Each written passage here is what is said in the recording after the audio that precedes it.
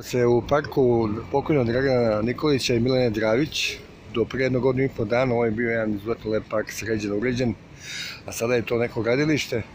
Neko je skinuo nalepnicu i obeleže ovog lepog zdanja koje je krasio opštinu Vračak. Sad imamo raskopani tunel u zemlji, nema nikakvi natpis šta se radi, kako se radi, zašto se sad radi tako dalje tako dalje. Verovatno su to nečiji propusti u radu bili pre nego što se ovaj park postavio, sad je to raskopano, nema table, nema nikakvog obeležja da se obavljaju neki građevinski radovi, sem trake na kojoj piše vodovod.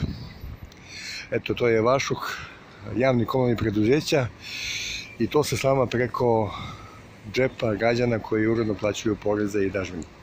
Evo, toliko možemo da vidimo lepo kako to sve izgleda i kako izgleda Nemar grada Beograda, opštine Vračar, i komunalnih preduzeća koji svojevoljno i samovoljno ruše ugled jednog grada koji bi trebalo zaista da ponese barjak lepog.